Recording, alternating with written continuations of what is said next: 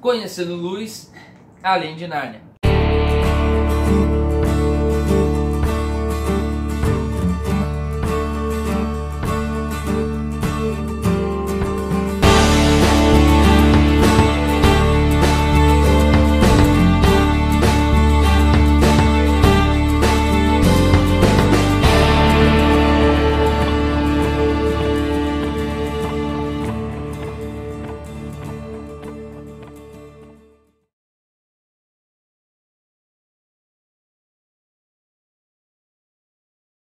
Olá pessoal, estou aqui mais uma vez no Tolkien Talk para apresentar esse cara aqui que, não sei se você entendeu, mas Luiz, é Luiz Adriano aqui, professor da UTFPR, doutor, doutor de História, que atualmente ele, ele pesquisa e ministra aulas de História da Tecnologia, Filosofia da Tecnologia e da Ciência e Tecnologia e Sociedade.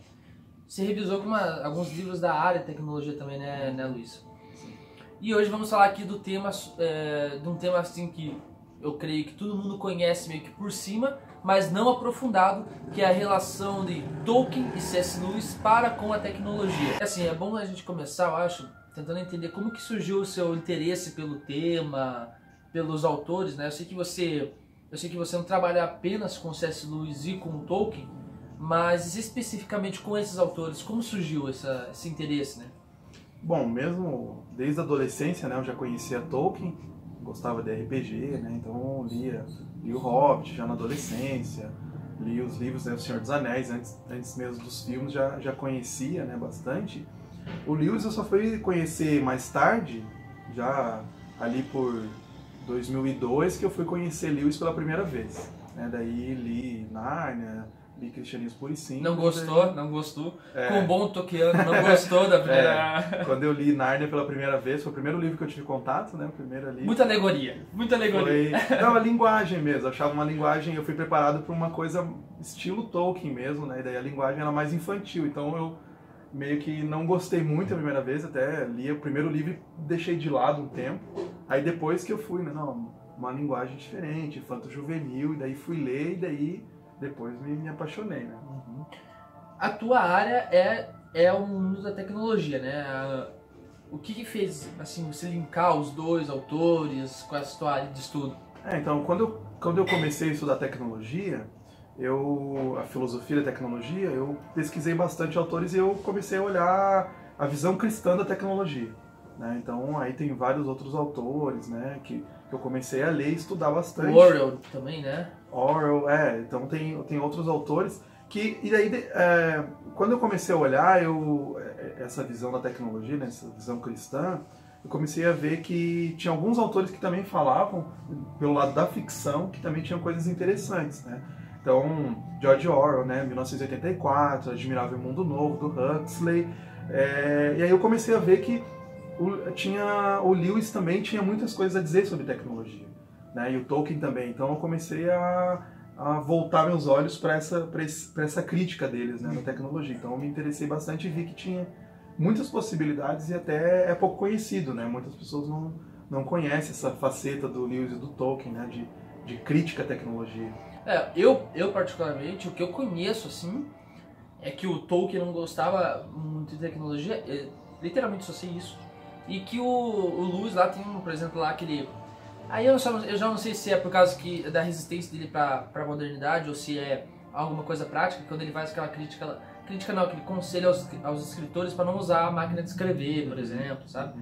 Mas enfim, qual é a relação, qual é a relação dos autores para, para esse, esse tema tecnologia, né? Ah, então, é realmente essa visão antimoderna, né? Os dois eram muito fortes, né? Então tem vários autores ali de Oxford, inclusive, que trafegavam ali, né, intelectualmente, até alguns autores que não eram, é, residiam em Oxford, né, o Christopher Dawson, é, o Michael Polanyi, que é um filósofo da tecnologia, eles trafegavam intelectualmente por, por Oxford, né, então é, eles tinham essa visão muito antimoderna, eles viam o modernismo, a ciência e a tecnologia moderna com restrições, né, então eles estavam vendo que tava, as coisas estavam indo muito rápido, de, demais. E eles também tinham uma certa um pé atrás com relação às promessas da ciência e da tecnologia.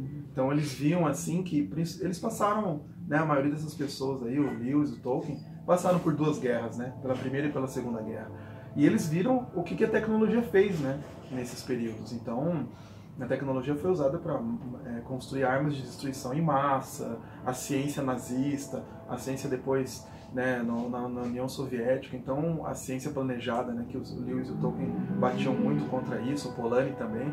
É, então, eles olhavam para isso e falavam: não, a gente não deve depositar nossa fé na ciência e na tecnologia, como viam muitas pessoas iam fazendo desde o século XIX. Né? Então, eles começaram a criticar bastante em vários escritos. O Lewis muito mais até do que o Tolkien, né? O, o Lewis, é, o Lewis ele era mais é, batia mais de frente mesmo com isso. O Tolkien você acaba vendo, é, o Tolkien tinha, que você aparece nos escritos dele, ah, uma mecanofobia.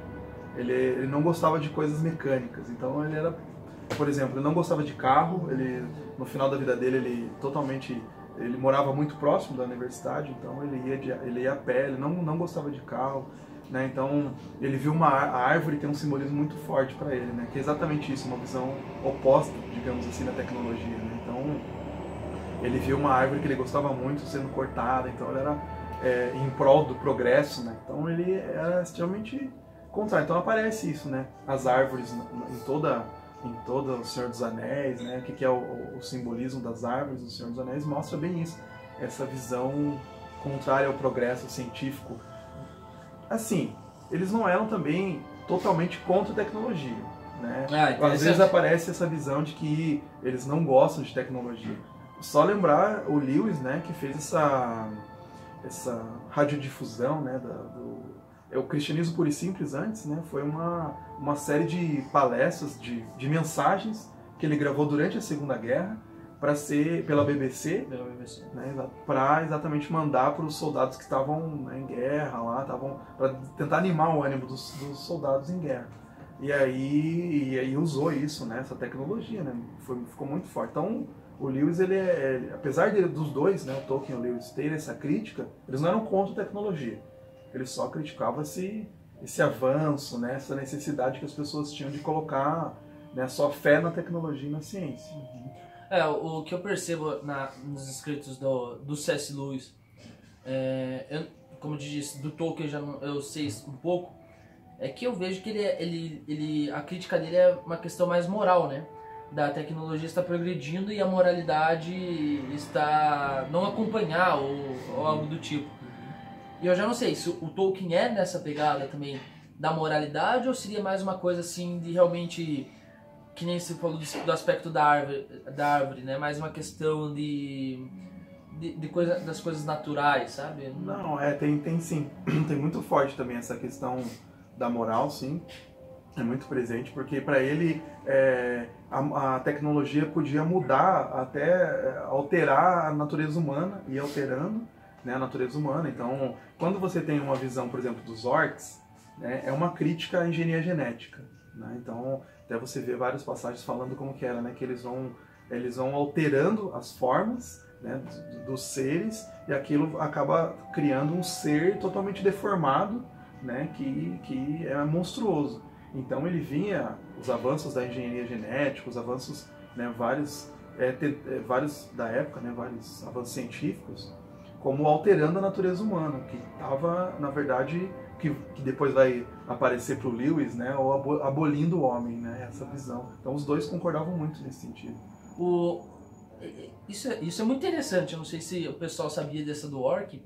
Tem algum outro personagem do, do Tolkien, é, além, lógico, da árvore lá que tem, a gente já conhece simbolismo, agora do Orc, tem algum outro personagem que faz alguma crítica à, tecno, ao, à tecnologia, alguma coisa. Alguma do, coisa é, tem os, os urucais, né? Também era uma forma pervertida, né?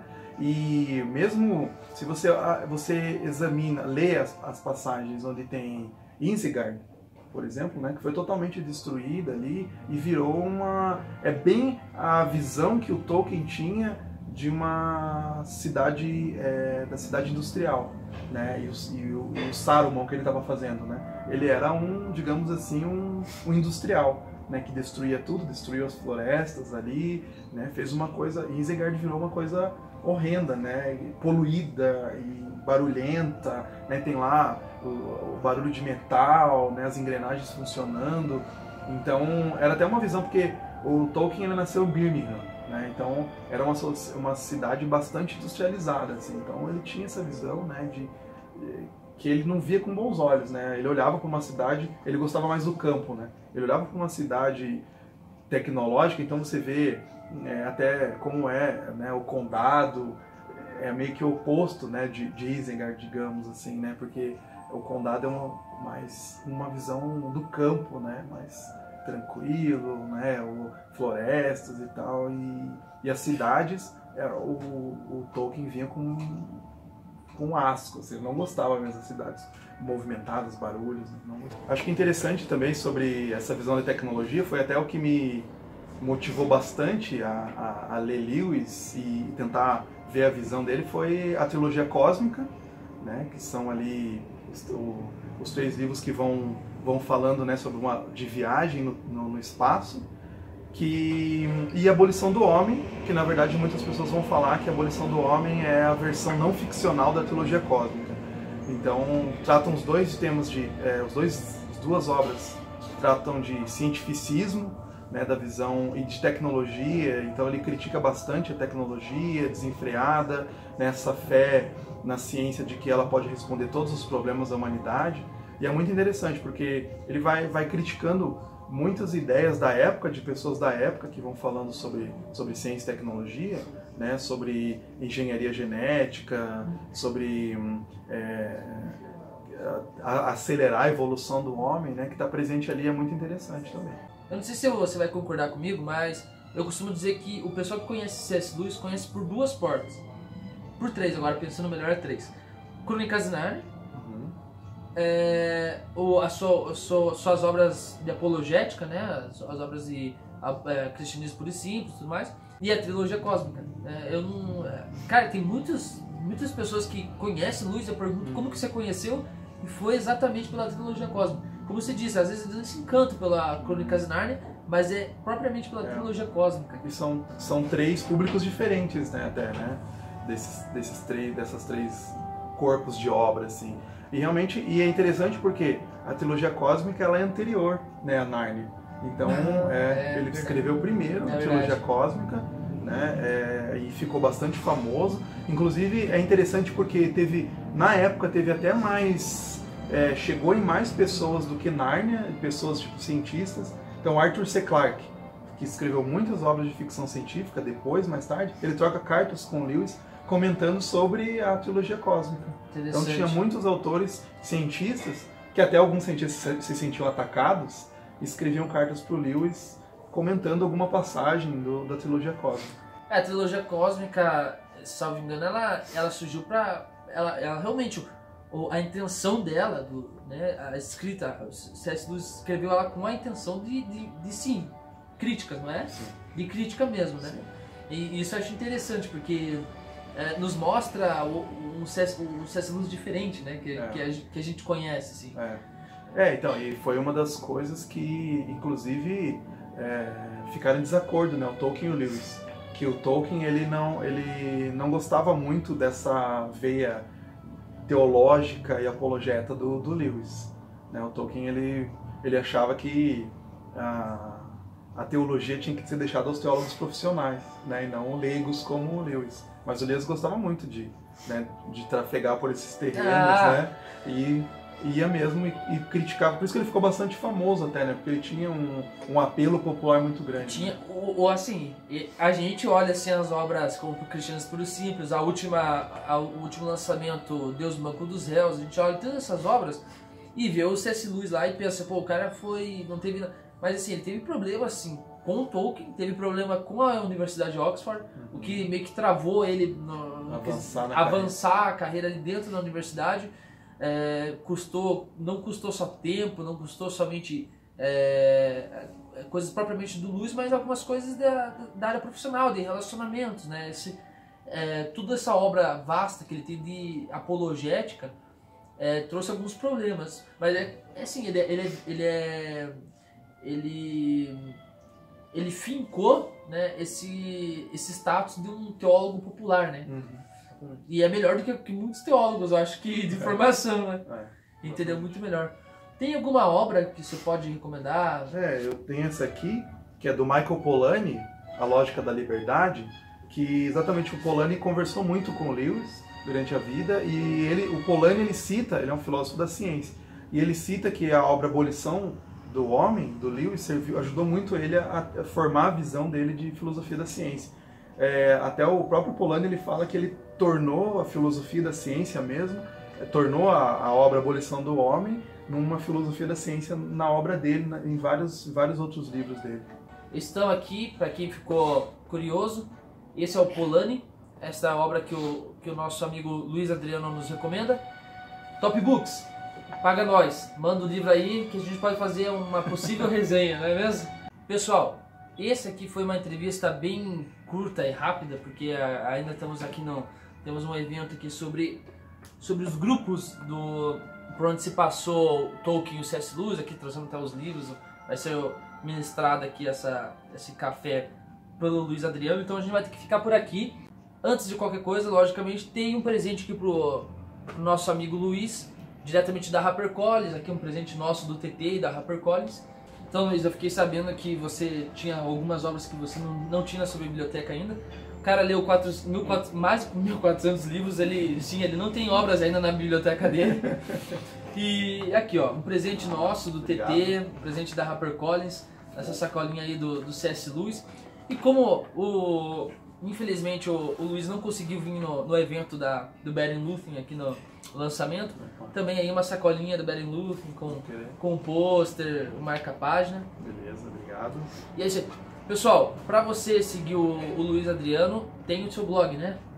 É, Oração Valente, é oracãovalente.blogspot.com. Uhum. Lá ele posta bastante coisa sobre. Não, não, não só de, de C.S. Lewis e Tolkien, né? Acho que nem é o foco, na verdade, é, né? É, geral. É, o cara lê vários livros, então tem bastante conteúdo lá, é muito legal. Então siga ele aí no, no, no blog, compartilha, comente aí, deixa sua sugestão e dá um like. Me lembrar, dá um like, é importante. Até o próximo. Luiz, mais uma pergunta, cara. Qual, como que você se sente, né? Tendo esse. Entre nós aqui de Curitiba, o pessoal aqui de Curitiba, você é conhecido como o cara que come livros, né? Você almoça livros e você dorme lendo. Você é verídico esses. É verídico? É, eu gosto de ler, né? Gosto bastante de ler. É meu esporte, né? É, então, mas é verídico. Você é. dorme lendo? Você dorme lendo?